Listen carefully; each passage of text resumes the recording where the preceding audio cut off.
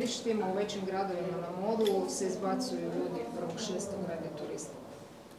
Mislim, to je, ako se ne varam, identično pitanje bilo postavljeno jučer ministru na, na, nakon prezentacije tih poreznih promjena.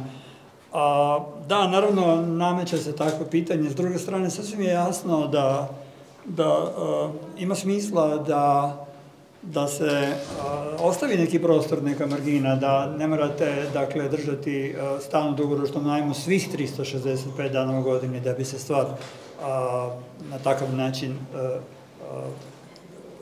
interpretirala i da biste bili oslobođeni tog poreza.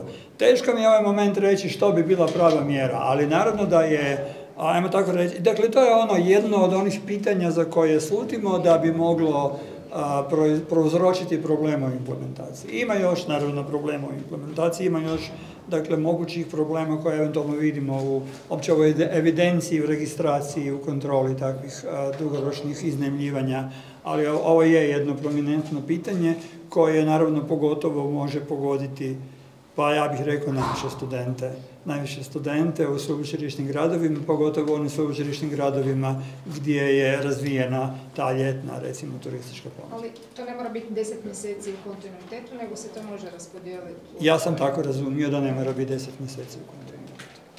Je li ovo ni na koji način e, problematično što države i lokalne jedinice neće plaćati porez na nekretnine na svoje nekretnine?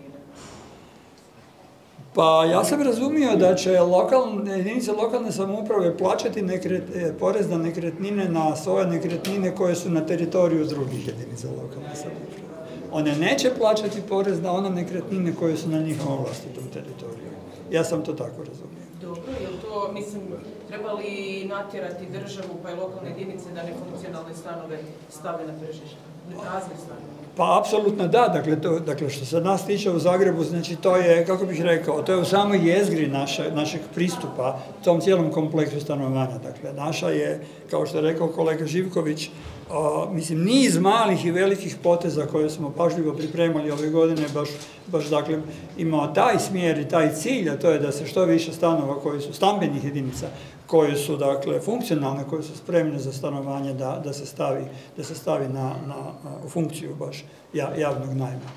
A naravno ima nekog smisla tom, u tome što je rekao ministar Primorac da, da nema mnogo smisla da lokalna jedinica naplaćuje porez od same sebe, ali svakako treba naći mehanizme kojima će se lokalne jedinice motivirati, stimulirati da stanove u vlastitom stambenom fondu stave u javni a što se tiče stanova u vlasništvu same države, dakle, tu je opet, kao što je, kao što je bilo rečeno od kolega, znači, dakle, vidjeli smo poteze koji idu upravo u suprotnom smjeru, mi smo htjeli vidjeti i od strane države napore i mjere usmjereni ka tome da čim više funkcionalnih stambenih jedinica bude na raspolaganju građanima za javnim Imate li naznaka u kojem smjeru će ići e, porez na nekretnine u Zagrebu što se tiče iznosa?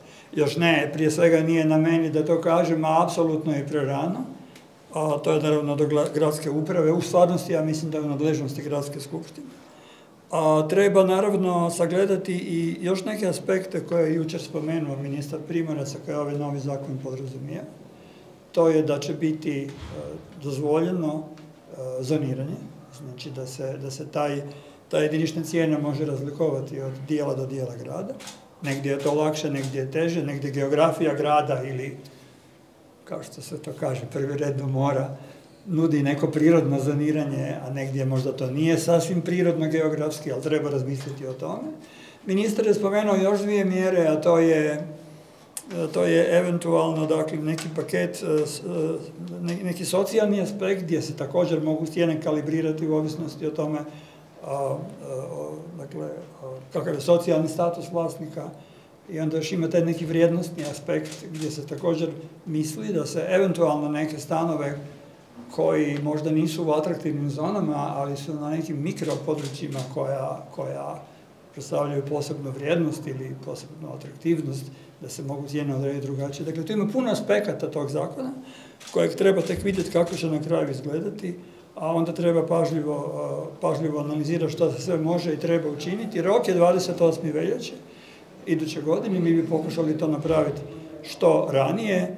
A, ali ponavljam još jedan puta i naše shvaćanje i naša intencija i šire od primjene ovog zakona i naša a, interpretacija tu u suštini podudarno sa vladinim, a to je da zapravo što god ili kako god a, implementirali taj zakon, da pokušamo nastojati da što više stanova ne da bude oporezovano, nego da što više stanova zaista završi na tržištu i na raspolaganju građanima za javno